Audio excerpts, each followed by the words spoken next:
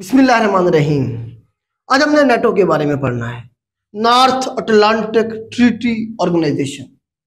NATO अभी Sweden ने join किया है इसे बत्तीसवें मेंबर के तौर पे। खबरों में ही है। तो यहाँ से सवाल बन सकते हैं।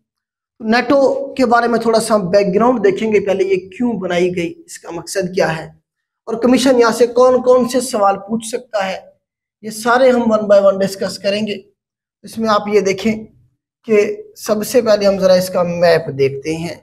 मैप में ये जो ब्लू कलर का आपको नज़र आ रहा है, ये हमारे पास बेटा यूरोप है। ये हमारे पास सारे का सारा क्या है? यूरोप है। ये सारा हमारे पास क्या है? यूरोप कॉन्टिनेंट है और ये हमारे पास नॉर्थ अमेरिका है। कॉन्टिनेंट कौन सा कॉन्टिनेंट है हमारे पास? नॉर्थ अमेरिका है। नॉर्थ अमेरिका में कनाडा और यूएसए मेन कंट्री आपको नज़र आ रही है। तो इसके दरमियान में यूरोप के और अमेरिका के दरमियान में ये जो समंदर है, ये जो ओशन है इसे हम कहते हैं अटलांटिक ओशन, बहरे ओकियानूस, जिसे इकबाल ने बहरे जुल्मात कहा था। तो ये यूरोप के दरमियान में और नॉर्थ अमेरिका के दरमियान में है। तो इन्हीं मुल्कों ने एक ऑर्गेनाइजेशन बनाएँगे आगे चल के यही मुल्क, जिसे हम नेटो कहेंगे। North Atlantic Treaty Organization Atlantic का वो वाला पोर्शन जो नॉर्थ में है, साउथ में भी है, जिसमें अफ्रीका और साउथ अमेरिका है अपने सामने। वो वाले कंट्री नहीं, बल्कि नॉर्थ वाले। तो नॉर्थ अमेरिका, कनाडा और यूएसएस में आ जाएँगे, बाकी यूरोप के कंट्रीज़ तो इन्होंने क्यों बनाई ये ऑर्गेनाइजेशन देखें, ये दौर था सेकेंड वर्ल्ड वार के बाद का। सेकेंड वर्ल्ड वार में सबसे ज़्यादा जो नुकसान हुआ, वो बरतानिया का और फ्रांस का, इनका, यूरोप का हुआ। और इनकी इकानमी मुकम्मल तौर पर तबाह हो गई थी। इन्हें अमरीका ने आके बचाया था। अगर अमरीका इस समय शामिल ना होता तो हिटलर ने इनकी तबाही कर देनी थी, जापान ने और हिटलर ने। तो इन्हें बेसिकली अमरीका ने आके सेव किया था। लेकिन इनका नुकसान बहुत हो गया था। अब इन्हें पैसे चाहिए थे अपने आप को रिबिल्ड करने के लिए। तो वो अमेरिका ने कहा, जी, मैं आपको दूँगा पैसे। आपकी सिक्योरिटी में रही में। आपके ऊपर ये जो रशिया, इधर देखें, अब कोल्ड वार का दौर भी शुरू हो जाएगा। ना अब इस, देखें वर्ल्ड वार फ़र्स्ट में सेकंड में अमेरिका का भी कोई खास नुकसान नहीं हुआ, बल्कि इन्होंने हथियार बेचे। और रशिया का भी नुकसान कोई खास नहीं हुआ था। इन्हें फ़ायदा ही हुआ था। अब ये दोनों ताकत एक दूसरे के साथ लड़ पड़ेंगी कोल्ड वार के दौर में इनडायरेक्टली डायरेक्टली नहीं लड़ेगी आपस में। तो ये दूसरे मुल्क, असल में ना पे दो, आप दो स्कूल ऑफ़ थॉट की भी हम बात कर लेते हैं। एक है हमारे पास कैपिटलिज्म और दूसरा है हमारे पास कम्युनिज्म सादा अल्फाज में मैं आपको ये समझाता हूँ कि कम्युनिज्म के अंदर ये होता है कि रियासत अपने शहरियों के जो बेसिक जरूरियात हैं उसका ख्याल रखती है रोटी, कपड़ा, मकान जो है, रियासत प्रोवाइड करेगी। जबकि कैपिटलिज्म में ये होता है कि कोई बंदा जितना चाहे कमा सकता है। अगर कोई नहीं कमा रहा हो अगर वो भूखा मर रहा है तो रियासत को उससे कोई सरोकार नहीं है। सरमाया दराना निज़ाम कहती है इसमें कैपिटलिज्म को जो अमेरिका के अंदर है, सरमाया दराना निज़ाम इसे हम कहेंगे। तो कम्युनिज्म का जो नज़रिया था, रशिया लेके चल रहा था, उसे फैला रहा था आसपास के मुल्कों में, और कुछ मुल्कों में कब्जा भी करता जा रहा था। तो कम्युनिज्म को लेकर चलेगा रशिया। और कैपिटलिज्म को लेकर चलेगा अमेरिका। अब अमेरिका ने कहा इन मुल्कों को, यूरोप के मुल्कों को कि भाई आपने क्या करना है? रशिया का जो कम्युनिज्म का नज़रिया, उसे रोकना है। उसके बदले में आपकी सिक्योरिटी मेरे जिम्मे वरना तो रशिया कब्जा कर लेगा तुम्हारे ऊपर। तुम्हारी सिक्योरिटी मेरे जिम्मे है। तो हम क्या करते हैं? मिलके एक अलायंस बनाते हैं रशिया के खिलाफ। किसका? मिलिट्री का अलायंस तो अलायंस कौन सा बनाया गया? नेटो का अलायंस बनाया गया। कब की बात है? ये 1949 की बात है। उन्नीस सौ उनचास की बात है। तो North Atlantic Treaty Organization, America ने बनवाया, वाशिंगटन में ये सारी डील हुई थी बातचीत। तो इन सारे मुल्कों को लेके, अब ये किसके खिलाफ था? रशिया के खिलाफ था। पहली बात तो याद रखिएगा, मिलिट्री अलायंस है ये। आर्मी का अलायंस है।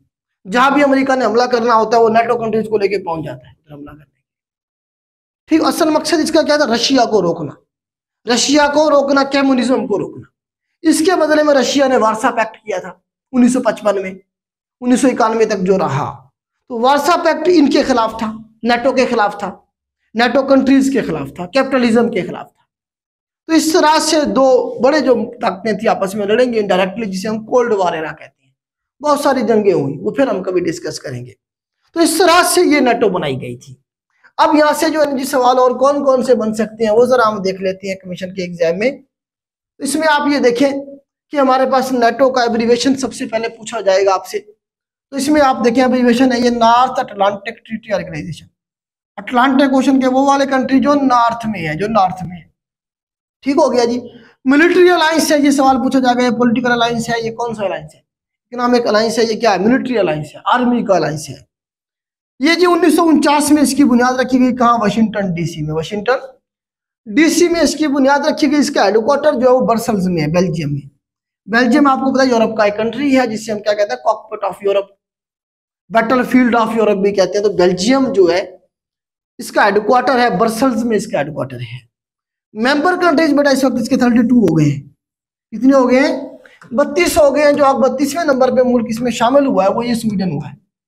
ये देखिए हमारे पास स्वीडन जो है बेटा, ये वाला जो कंट्री है स्वीडन ये जो है ना जी मेंबर बना है किसका? नेटो का बत्तीसवा इससे पहले फिनलैंड हुआ था 2023 में। फिनलैंड शामिल हुआ 2024 में, सात अप्रैल 2024 को स्वीडन भी इसका हिस्सा बन गया है। ठीक हो गया देखिए ये सामने यूक्रेन आपको नज़र आ रहा है। यूक्रेन भी इसका हिस्सा बनने जा रहा था, इसीलिए रशिया ने क्या किया, इसके ऊपर हमला कर क्योंकि यूक्रेन को रशिया से मन चाहिए रेड लाइन अगर ये चला गया नेटो में यूरोपीय यूनियन में तो तो तो अमेरिका के मिसाइल उसके बॉर्डर तक पहुँच जाएँगे रशिया के बॉर्डर नेटो का मतलब ये है कि अगर इन मुल्कों में से किसी एक मुल्क पे भी हमला होगा तो जितने भी मुल्क हैं, सारे के सारे ऊपर हमला तस्वर किया जाएगा और वो सारे मिलकर लड़ेंगे। इसका मतलब ये है। तो इस तरह से अभी जो मेंबर बना है, वो बनाया जी हमारे पास कौन? स्वीडन मेंबर बनाया बेटा, इसका कौन सा मेंबर का, कौन सी डेट को बनाया? सात मार्च। डेट भी पूछी जा सकती है आपसे। सात मार्च 2024 को जो है ना जी स्वीडन मेंबर बनाया किसका? नेटो का। टोटल मेंबर कंट्रीज़ कितनी है? इसके बेटा बत्तीस हो गए। आप कितने हो गए? स्वीडन को साथ में मिला के बत्तीस हो गए। तो सेक्रेटरी जनरल आपने इसका ज़रूर याद रखना है। इसका इंपॉर्टेंट जो पर्सन है, वो सेक्रेटरी जनरल ही होता है। तो जेन स्टाल्टनबर्ग ये जो है ना जी 2024 के एंड तक रहेगा। 2014 में ये आया था और 2024 के एंड तक ये रहेगा जेन स्टाल्टनबर्ग ये फार्मर जो है ना जी नॉर्वे का प्राइम मिनिस्टर भी रहा है। ये फार्मर प्राइम मिनिस्टर है नॉर्वे का ये सवाल बन सकता है कि जेन स्टाल्टनबर्ग जो है, अभी जो सेक्रेटरी जनरल है, इससे पहले ये क्या था? कौन से मुल्क से इसका ताल्लुक है? तो नॉर्वे का ये क्या है? जी फार्मर ये प्राइम मिनिस्टर रहा 2005 से 2013 तक। उसके बाद जी मुस्लिम कंट्रीज़ कितनी है? नेटो में ये पूछे जा सकते हैं आपसे। बड़ा सिवाय, सिर्फ़ एक मुस्लिम कंट्री है जो कि नेटो का मेंबर और वो कौन सा है? तुर्की है। ओनली कंट्री इन नेटो जो है, वो कौन सा होगा? जी हमारे पास तुर्की होगा। वैसे अल्बानिया भी है इसका हिस्सा अल्बानिया में साठ फ़ीसद मुसलमान मौजूद हैं। लेकिन तुर्की का ही पूछता है अक्सर पेपर में। अब इसमें पाकिस्तान भी इनका एलाय रहा है, नॉन नेटो अलाय जो था मेजर नॉन नेटो अलाय का जो स्टेटस था पाकिस्तान के पास भी रहा है। जब हमने टेररिज्म के खिलाफ अमेरिका का साथ दिया अफ़गानिस्तान में, जब अमेरिका नेटो कंट्रीज़ को लेकर अफ़गानिस्तान में आया, हमला किया दो एक में तो हमने भी उन्हें सपोर्ट किया। नेटो की सारी सप्लाई यहीं से जाती थी पाकिस्तान से। तो हम भी इसके नॉन नेटो अलाय रहे हैं। अब नहीं है, लेकिन एक वक्त हम थे। तो ये बेटा नेटवर्क के बारे में सवाल थे जो पूछे जा सकते हैं आपसे। आज के लिए इतना ही। अला हाफिज़।